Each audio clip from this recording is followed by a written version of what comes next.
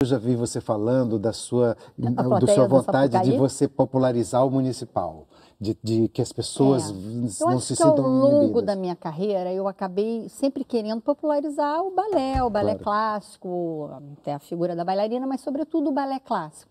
Então assim, para isso eu tinha que levar a dança para o povo, para as praças, para as praias do Rio de Janeiro, para palcos que a gente podia ter.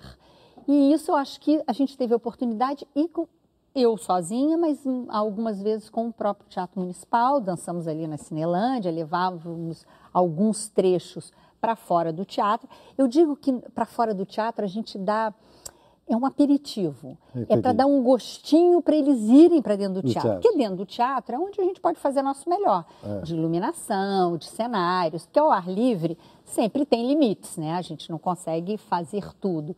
Então, assim, é um aperitivo para. Gostaram?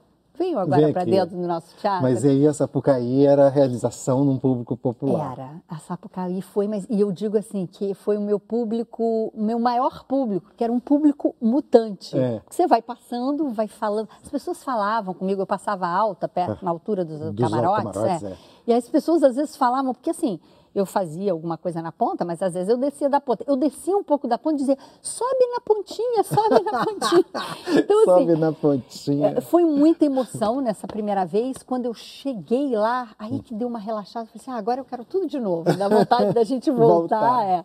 Mas assim, eu acho que o meu maior público, né? De, é. Porque você vai passando em um público diferente que vai trocando a cada, a cada é. metro, né? Eu canto a arte elástica